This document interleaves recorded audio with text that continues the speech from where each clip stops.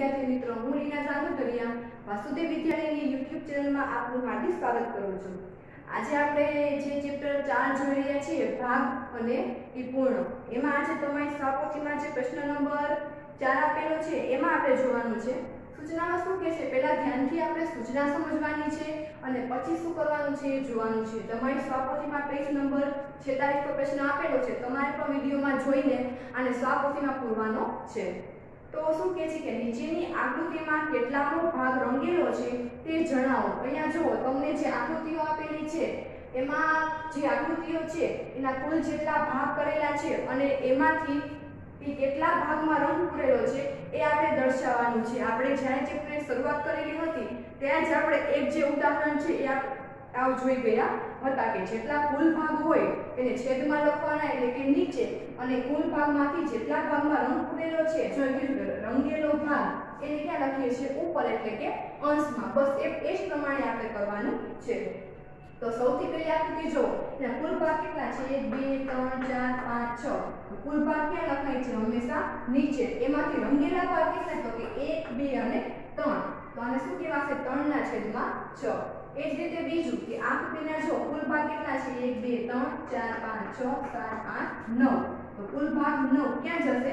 છેદમાં.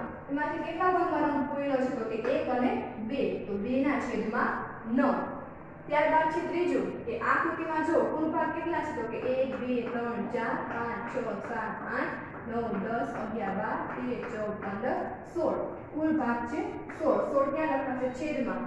16 માંથી કેટલા ભાગમાં રંગ પૂરેલો છે? તો કે 1 2 3 4 5 6 7 8 એટલે 8 ના છેદમાં 16 ત્યાર છે નંબર 4 એમાં જો કુલ ભાગ કેટલા છે? તો કે 1 2 3 4 5 6 7 8 9 10 11 12 13 14 15 16 16 માંથી કેટલા ભાગમાં રંગ પૂરેલો? તો કે 1 2 3 અને 4 4 ના છેદમાં 16 ત્યારબાદ છે જો આ પ્રકારની આકૃતિ છે. હવે અહીંયા તમને કુલ છે કરીને આપેલા નથી, પણ કુલ ટુકડા આપણે કરવાના છે અને પછી કેટલા ભાગમાં રંગ પૂરેલો છે એ પણ આપણે અહીંયા જાતે કરવાનું છે. તો આવી ઘણી આકૃતિ હોય, એમાં આપણે મોસ્ટ ઓફ ભૂલ કરતા હોઈએ છીએ. તો જો, આ તમને કઈ આકૃતિ દેખાય છે? તો કે આ તમને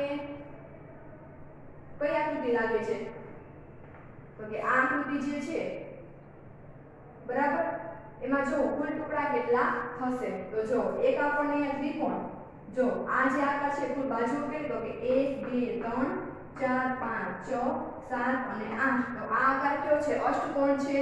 બરાબર? હવે અહીંયા અષ્ટકોણ છે, તો એમાં ખૂણા પણ 8 હોય, તો આના કેટલા ભાગ કહી શકાય છે? જો કે અહીંયા એક લાઈન છે, એક લાઈનમાંથી એક ત્રિકોણ બને છે. તો એવી અહીંયા જેટલી લાઈન છે, એ દરેક લાઈનમાંથી ત્રિકોણ બનશે.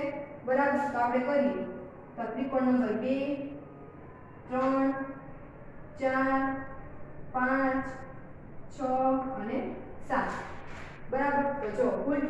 થયા એક બે ત્રણ, ચાર, પાંચ, છ, સાત અને આઠ. કુલ થાય છે આઠ. અને આઠમાંથી કેટલામાં રંગ પૂરેલો છે? માત્ર એકમાં જ રંગ પૂરેલો છે. તો આ પ્રમાણે આપણને એક ટુકડો આપેલો હોય, એના જેવા જ આપણે બીજા ટુકડા કરવાના છે. ત્યારબાદ છે નંબર છ. પણ એમાં પણ એવું છે કે જો આપણને માત્ર એક ટુકડો કરીને આપેલો છે, બાકીના ટુકડા છે નહીં. તો બાકીના આપણે આ કૃતિમાં કુલ કેટલા કરી શકીશું? તો કે આ માપના તો પહેલા આપણે આ રીતે આ આકૃતિના કુલ ભાગ કરવા પડે. બરાબર? આ રીતે. તો કુલ ટુકડા થાય છે 6 છ માંથી કેટલા ભાગમાં રંગ તો કે એકમાં રંગ પૂરેલો છે? આ રીતે આપણે લખી લેવાનું છે.